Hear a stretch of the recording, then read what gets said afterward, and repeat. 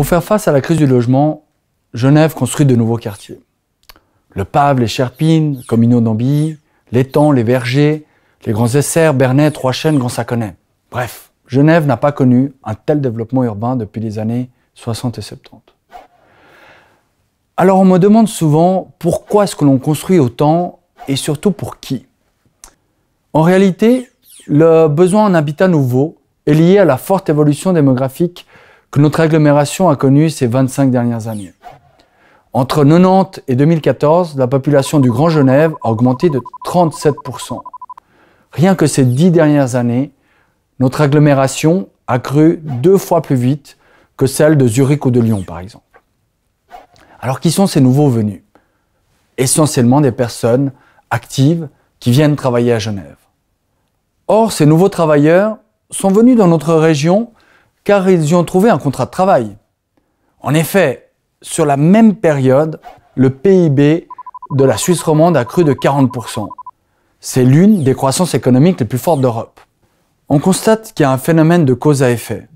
Tout d'abord, ce sont nos politiques économiques et fiscales qui ont entraîné une croissance du PIB. Cette croissance a amené une migration de travailleurs qui eux-mêmes ont besoin de se loger. La construction de nouveaux logements est donc une conséquence directe de la croissance économique. Ils ont certes trouvé un emploi, mais pas toujours un logement sur le canton. Conséquence immédiate, le nombre de pendulaires transfrontaliers a été multiplié par 4 durant la même période. Ainsi, Genève fait venir chaque matin un tiers de ses actifs qui repartent chaque soir. Ceci génère une mobilité pendulaire énorme. Il y a par jour 500 000 passages aux frontières cantonales. Voilà les principales conséquences de ne pas avoir su loger nos actifs. Des routes cantonales bouchées, des transports publics saturés, une augmentation de la pollution, des nuisances, du bruit, un impact sur l'environnement, une qualité de l'air dégradée, sans parler de la récupération politique de la thématique transfrontalière. Aujourd'hui, Genève doit reprendre la maîtrise de son développement.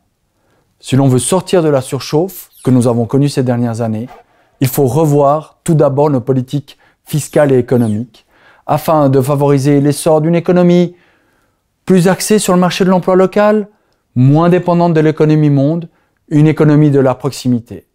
C'est en agissant sur les causes que l'on pourra atténuer les conséquences négatives de la croissance que l'on a connue ces dernières années. Ensuite, il nous faut rapprocher le domicile des travailleurs de leur lieu de travail afin de diminuer les déplacements pendulaires et ainsi de diminuer les mouvements aux frontières. C'est pour cela que l'on construit des nouveaux quartiers. Mais ces nouveaux quartiers, qui sont une occasion de redessiner le visage de notre canton, doivent impérativement être de qualité. Ils doivent faire la place belle aux lieux publics, aux espaces verts, aux lieux de rencontre pour la petite enfance, pour les seniors, des lieux aussi qui permettent une belle place à la culture, au sport. Enfin, ces quartiers doivent être de très belle qualité architecturale, de haute performance énergétique et intégrer la nature en ville. Si Genève veut construire un avenir maîtrisé, choisi et non subi, elle doit assumer de mettre en cohérence ses ambitions économiques avec les contraintes de son territoire.